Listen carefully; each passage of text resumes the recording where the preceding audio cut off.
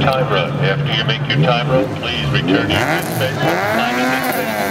Wait until we call you again. Do not go directly back to the staging lane.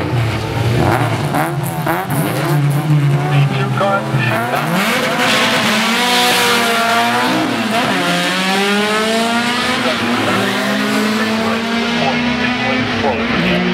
Whether you made a run or not, do not come to the staging lane. Vamos allá, Junior, míralo ahí. And B1 cars, we will be closing the staging lane for you shortly.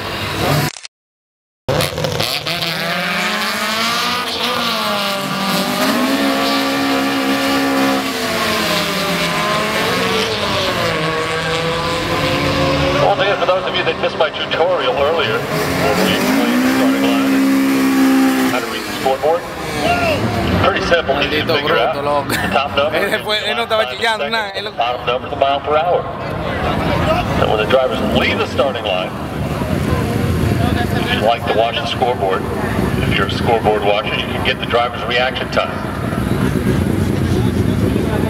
It comes up in tenths, hundredths, and thousandths of a second. Then when they pass the 60-foot clock, that number will pop up.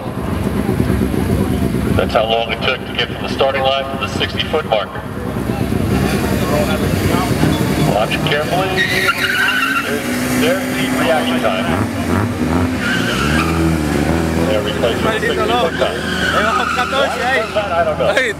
Myself, I'd like to see the reaction time for the whole run. hizo bien. loco. Up on the top of the scoreboard, the elapsed time, Easy. 36, the left-hand lane, picking seven.